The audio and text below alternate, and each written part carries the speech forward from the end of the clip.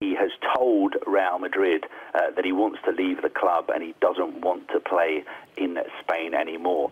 Now, of course, knowing his status as being arguably one of the greatest players of all time, he's probably, apart from Lionel Messi, he's the best player in the world at the moment.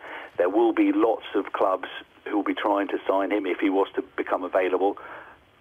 Although he's 31 years old, I think the transfer fee you're looking at would probably be another world record transfer fee.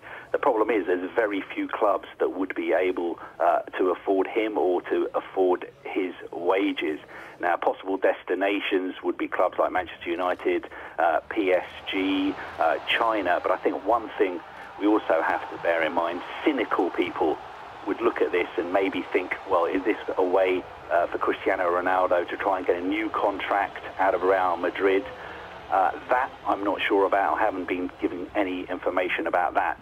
But the one thing to bear in mind is that he did sign a brand new five-year contract at Real Madrid uh, in November last year, just a few months ago.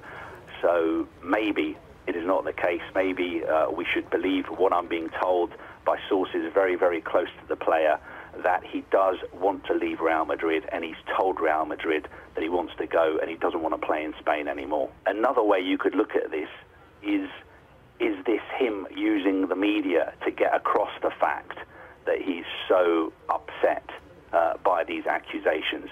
Will this mean that in a, in a few weeks you know, this is this is all going to be sorted out, and he's going to stay at Real Madrid. Uh, that is another possibility. He, he, may be using the media just to get the message out how totally angry and shocked he is that he's been accused uh, uh of avoiding tax. So that is another uh, another possibility to consider.